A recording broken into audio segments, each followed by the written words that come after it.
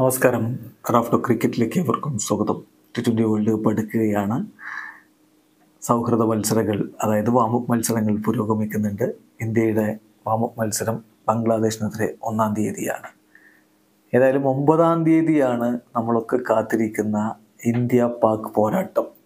ഒരു വീറുറ്റ പോരാട്ടം ചില വൈരികൾ തമ്മിൽ ഏറ്റുമുട്ടുമ്പോൾ ഉണ്ടാകും എന്നാണ് നമ്മൾ പ്രതീക്ഷിക്കുന്നത്. അങ്ങനെ പറയാൻ കാരണം കഴിഞ്ഞ വേൾഡ് കപ്പിൽ ഇന്ത്യ പാക് മത്സരം എന്തായി? പാകിസ്ഥാനെ കൊണ്ടൊന്നും ചെയ്യാൻ പറ്റിയില്ല. വളരെ അനായാസം ടീം ഇന്ത്യ വിജയിച്ച് കയറി. പക്ഷേ എങ്ങനെയാണെങ്കിലും ഈ രണ്ട് ടീമുകൾ തമ്മിൽ ഏറ്റുമുട്ടുമ്പോൾ ആരാധകർ വലിയ പ്രതീക്ഷയിലാണ്. ന്യൂയോർക്കിൽ ഇരുവരും ഏറ്റുമുട്ടുന്ന മത്സരം തീ പറക്കുമെന്ന പ്രതീക്ഷയോടെ കാത്തിരിക്കാം. അതോടൊപ്പം ഇപ്പോൾ പുറത്തേക്ക് വന്നിരിക്കുന്ന വാർത്ത ഈ മത്സരത്തിന്റെ സെക്യൂരിറ്റി വളരെയധികം ടൈറ്റൻ ചെയ്തിരിക്കുന്നു. ന്യൂയോർക്കിലെ ഈ മാച്ച് നടക്കുന്ന കൗണ്ടിയിൽ ചരിത്രത്തിൽ ഇന്നേ വരെ ഇല്ലാത്ത ടൈറ്റ് സെക്യൂരിറ്റിയാണ് ഏർപ്പെടുത്തിയിരിക്കുന്നത് എന്ന് റിപ്പോർട്ടുകൾ വരുന്നു. ക്ലിക് ബസ് അതിനെക്കുറിച്ച് വിശദമായ റിപ്പോർട്ട് ഇട്ടിട്ടുണ്ട്. നമ്മൾ അതിന്റെ കാര്യങ്ങളിലേക്ക് പോവുകയാണ്. വാർത്ത എങ്ങനെയാണ്? N Y P D fear lone wolf attack on India Pakistan game lone wolf ആക്രമണം ഉണ്ടായേക്കാം എന്ന ഭയമുണ്ട്.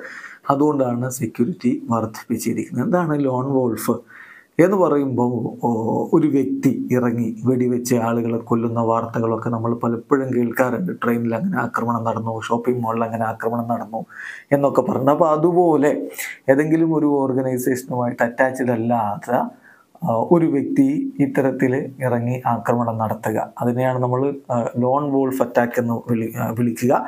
അത്തരത്തിലുള്ള അറ്റാക്ക് ഭയക്കുന്നുണ്ട്. അതുകൊണ്ട് തന്നെ ന്യൂയോർക്കിലെ ഈ മത്സരത്തിനുള്ള സെക്യൂരിറ്റി ടൈറ്റൻ ചെയ്തിരിക്കുന്നു. നസൗ കൗണ്ടിയിലാണ് ഈ ഒരു മത്സരം നടക്കുന്നത്. അപ്പം അതുകൊണ്ട് തന്നെ അവിടുത്തെ സെക്യൂരിറ്റി വളരെ ടൈറ്റൻ ചെയ്തിരിക്കുന്നു. ചരിത്രത്തിലില്ലാത്ത വിധം. റിപ്പോർട്ടിങ്ങിനെയാണ് Nassau county will have seen the tightest security ever എന്നാണ്. ഏതായാലും ഇതിനെക്കുറിച്ച് വിശദമായിട്ട് ചില കാര്യങ്ങൾ അവിടുത്തെ അധികൃതർ തന്നെ ഇന്നലെ മീഡിയയുമായിട്ട് പങ്കുവെക്കുകയുണ്ടായി. നസോ കൗണ്ടി എക്സിക്യൂട്ടീവ് ബ്രൂസ് ബ്ലൈക്മനും അതുപോലെ പോലീസ് കമ്മീഷണർ പാട്രിക് റൈഡറും മാധ്യമങ്ങളോട് ചില കാര്യങ്ങൾ പറഞ്ഞിട്ടുണ്ട്. അതിൽ അവർ പറയുന്ന കാര്യങ്ങൾ നോക്കാം. ബ്ലൈക്മൻ പറയുന്നത് each and every day Nassau county അവിടുത്തെ കമ്മ്യൂണിറ്റീസ് സിറ്റീസ് എല്ലാവരും യുണൈറ്റഡ് സ്റ്റേറ്റ്സിൽ പലതരത്തിലുള്ള ത്രെട്ടുകൾ റിസീവ് ചെയ്യുന്നുണ്ട്. അപ്പോൾ അതിനെ നമ്മൾ വളരെ സീരിയസ് ആയിട്ട് തന്നെയാണ് എടുക്കുന്നത്. അതുകൊണ്ട് തന്നെ ഒരുപാട് പ്രിക്കോഷൻസ് ഈ കളിക്ക് വേണ്ടി എടുക്കുന്നുണ്ട്.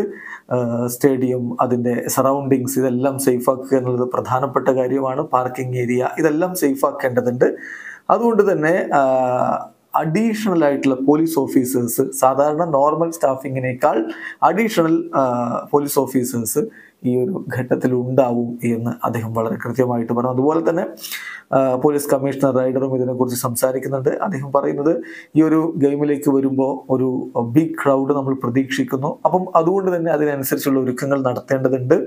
സോ എല്ലാ സ്മോൾ ഡീറ്റെയിൽസും നമ്മൾ പരിശോധിക്കും. സെക്യൂരിറ്റി ആൻഡ് സേഫ്റ്റി വലിയ രൂപത്തിൽ ഉറപ്പുവരുത്തും.